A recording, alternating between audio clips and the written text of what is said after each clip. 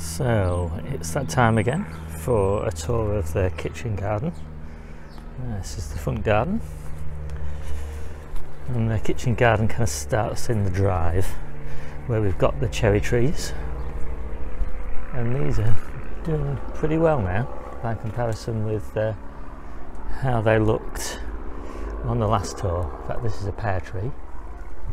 And we have got a few baby pears on here. This is only its second year, so uh, we don't want it to have too many. And quite a few cherries. Just uh, starting to plump up a little bit. I just love this time of year when all the the fruit starts to uh, to set and mature. Most of these cherry trees are Stella although I have got some Rainiers as well. So they're all in bins, which means they need a good water every few days, but they're worth it. Nothing like fresh cherries. So let's have a look at the back garden. Quite a lot has changed since the last tour. So the potatoes, which were just breaking through on the last tour, are all going very nicely.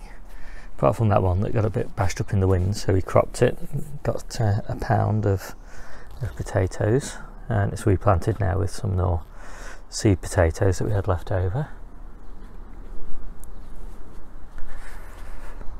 Yep, all doing very nicely. And look quite nice on the patio as well. Popped a few uh, outdoor tomatoes in here.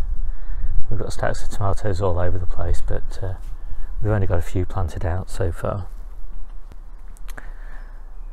And then these are the outdoor blackberries. Outdoor blackberries. Thornless blackberries uh, they're just in pots. They seem to do fine in these pots. Uh, but since the last tour I put this new frame up for them. So there's three three blackberries there, there and there. And they're trained upon that frame. They're growing really nicely. Lots of flowers on them. So I'm hopeful of a pretty good crop got some more potatoes here both of my cats are here wandering around wondering what's going on and keeping the birds off so these are beetroot and these were under fleece last time um, but they've really matured very nicely. I'm very pleased with those. Herb beds springing to life nicely as well. Got a few uh, shallots in there and bits and pieces of garlic, just sort of emergency supplies in case we don't get down to the allotment.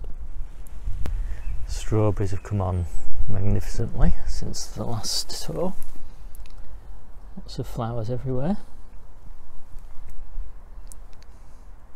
Cats are very interested. Yes. And another cherry tree. This one's not cropped as well as it did last year. It had an amazing crop on last year. And I suppose that's why it's taking a rest this year.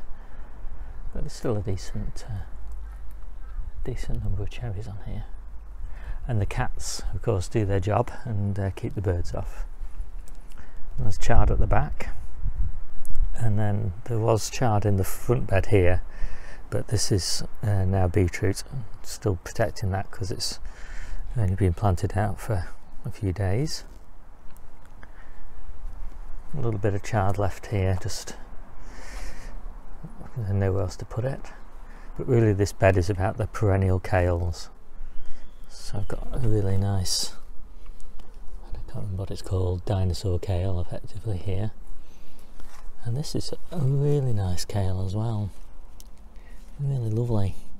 Just keep picking these leaves just keeps coming and I have heard that if you interplant these kales with the normal annual kales, these take most of the hit from pests, but they don't actually care. They just throw off any pests, um, but they kind of protect the uh, the annuals. So I might give that a go. I'll take some cuttings off there soon. I'll just stick them in a pot and see how it goes. Looks like there is something in there eating. eating some of that. Okay.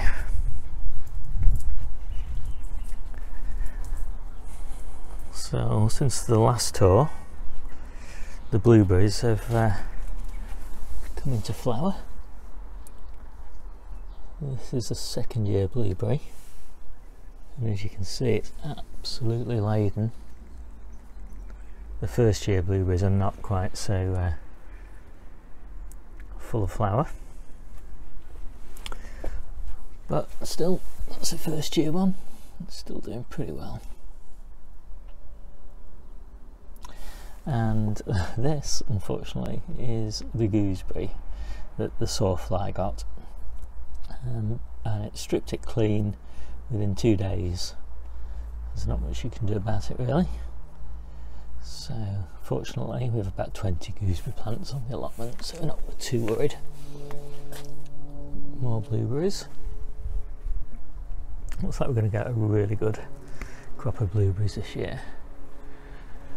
So this is my beloved apple tree and this too has got a lot of flowers on it. A bit too early yet to see how well they've set. But it had a lot of disruption when we did this patio last year. As you can see it only has a relatively small area now that it gets watered for, uh, through and it had quite a lot of root disturbance as the patio was dug around it and all that sort of thing so we were a bit worried about it. But this year it's really sprung back to life. Really good.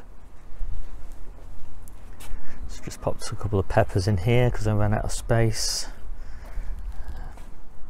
And the strawberry bed is doing very well. Three different varieties. Got some more blueberries here. Some raspberries and things like that just look at this strawberry bed. Just gorgeous. So many flowers on there. And all the fruit seem to be setting really well. Really pleased with this mulch that I put on last year. Seems to have worked really nicely. And a black currant there which we've mostly got for taking cuttings off because we've got lots of other black currants on the allotment but this is a particularly nice one so we've got this for cuttings. And the hostas well they were only tiny little plants on the last tour but they've really come on nicely. As have the raspberries. A few flowers on these now already. This is exciting because raspberries are my favourite of all the fruits. So I can't wait to be eating raspberries again. And that is pretty much it. That's the end of the tour. I hope you liked it and if you did subscribe. Um, give me a thumbs up leave some comments. It's always lovely to see those. Uh, do try and reply to them all forgive my swimming gear. I'm pretty excited today because is the first day that I've been back swimming for quite a few months after an injury. So uh, yeah really good. Look at the cats just rolling around and messing around. What does it move what are you up to? As I said before these cats so helpful in a garden keep the birds down. One of the reasons we have fleece though on these beds is to keep the cats off while the plants are small. Once they're like this, it's not so much of a problem. but when there's lots of soil in evidence cats are a bit of a pain but the fleece does its job okay end of tour